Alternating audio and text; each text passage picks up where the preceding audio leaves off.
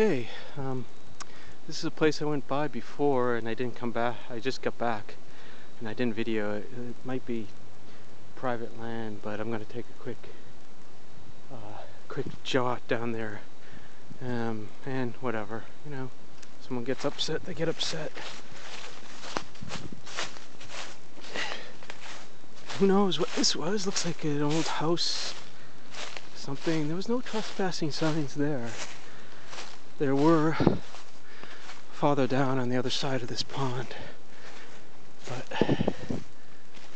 check that out. Old chimney, old foundation. Looks really nice in the foliage. A little winded, just came up some hills on the bike, so. Alright, check that some stone pillars, something oh, on another section of wall here. Yeah, I'm gonna do this quick. Excuse me. Because I don't know if people are would not be into this if they saw me here. It looks like an old generator or some sort of engine. I don't know.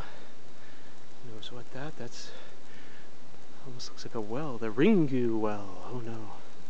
I just watched that movie again, so it's on my mind. Alright. Have a campfire, or have a chimney fire outdoors. Alright, I'm gonna walk across here and cut right back up to the road.